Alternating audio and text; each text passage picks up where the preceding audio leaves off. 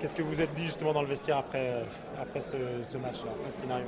Bah, C'est difficile hein, de trouver les mots, mais bon, euh, bah, tout simplement que voilà, il fallait mettre euh, ce match aux oubliettes et puis se servir justement de ça pour ne pas recommencer les mêmes bêtises parce que bon, c'est vrai qu'il y a eu des bêtises ce soir, on a, on a craqué, les nerfs ont lâché chez, certains. Donc quand, on, quand, on, veut jouer au haut niveau, ben, ça passe déjà par, par ce genre de match, donc il faut savoir se retenir, pas répondre aux provocations même si l'arbitre, c'est vrai, a été à sens unique ce soir, mais bon, c'est pas grave. Et, euh, voilà, on est content de notre parcours et euh, on espère euh, bah, obtenir la troisième place. La tension, on l'a senti un petit peu avant, pendant le match, et puis même après, il y a eu des, tout petits accrochages.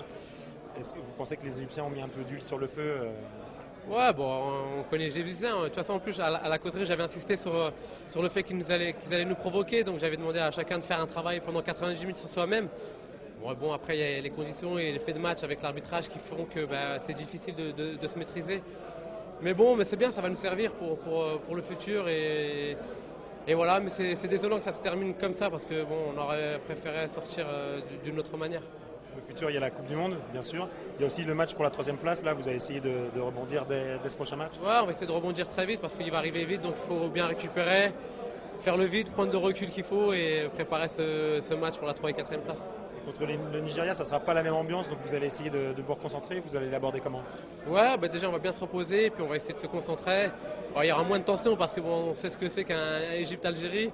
Donc euh, bon, ça va être euh, un, match de 3e, 4e place, donc euh, moins de pression. Peut-être que certains n'arrivent pas encore à, gérer cette pression.